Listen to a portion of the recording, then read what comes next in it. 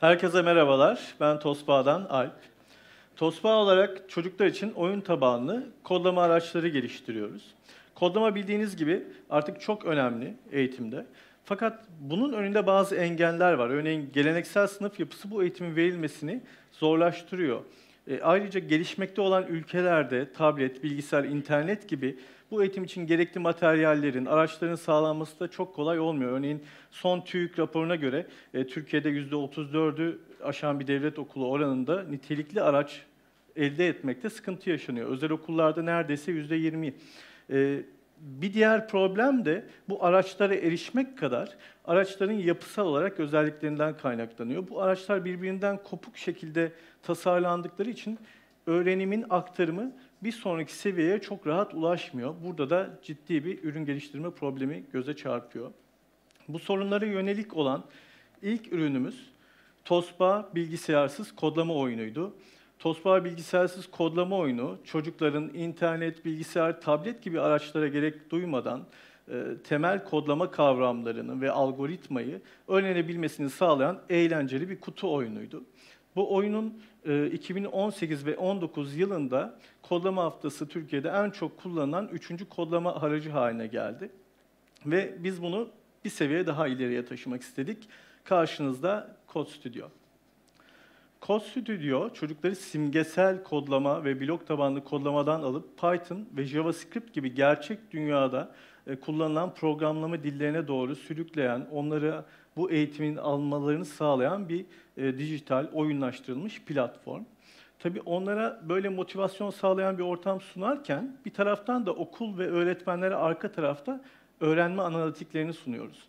Aslında bu arka tarafta öğretmenlerin, velilerin ve okulların çocukların ilerleyişlerini takip edecekleri bir öğrenme yönetim sistemi. E, dolayısıyla bu uygulama aslında bizi e, blok programlamadan en son Python'a kadar getirip endüstri standartına çocuğu ulaştırmış oluyor.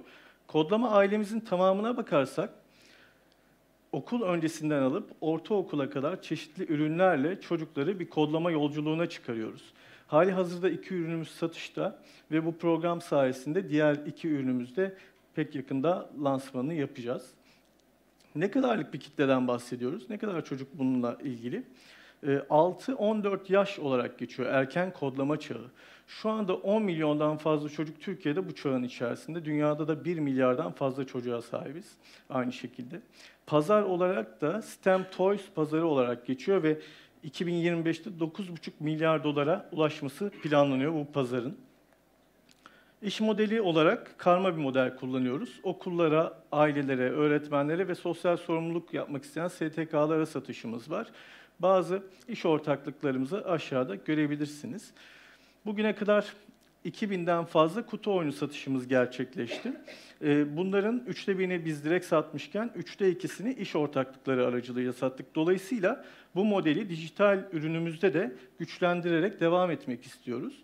Ve e, ilk yıl için e, özel okulların %5'ini hedefliyoruz. İlk yıl beklenen gelirimiz 4,5 milyon lira.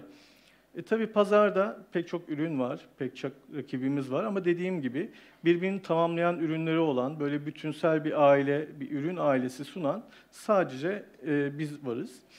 E, uzun bir yolculuğu oldu Tosbağ'ın. 2019'da ücretsiz versiyonuyla İbrahim Budur Sosyal Girişimcilik Ödülünü kazandı. Hemen bir yıl sonra 2020 sonunda Big Bang sahnesindeydi. 2021'de ilk etki raporunu yayınladı, ilk kurumsal satışını yaptı ve e, bugün bu program sayesinde söyleyebiliriz ki artık e, ürün ailemizi tamamlıyoruz. Önümüzdeki yıl e, iki önemli fuar var. Bir tanesi BED Eğitim Teknolojileri Fuarı İngiltere'de, bir diğeri de Spielwarenmesse oyuncak fuarı. Bu iki fuara katılarak yurt dışındaki ilk fuar deneyimine çıkmak istiyoruz. 2027 hedefimiz de küresel sistem toy pazarında bilinen bir marka haline gelmek. Ekibimiz doktora ve yüksek lisans seviyesinde arkadaşlardan oluşmakta. Bilgisayar ve bilişim öğretmenleri ağırlıklı. Fakat yine aramızda uzman e, yazılım mimarları ve programcılar da var. Ve e, bu ekibimizle birlikte 150 e, bin dolarlık bir yatırım ihtiyacımız var. 30 bin dolar kadarını hali hazırda sözüne almış durumdayız.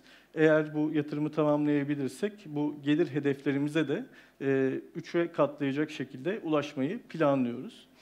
Ee, beni dinlediğiniz için teşekkür ederim. Tosbağa'nın yolculuğuna sizleri de dekleriz.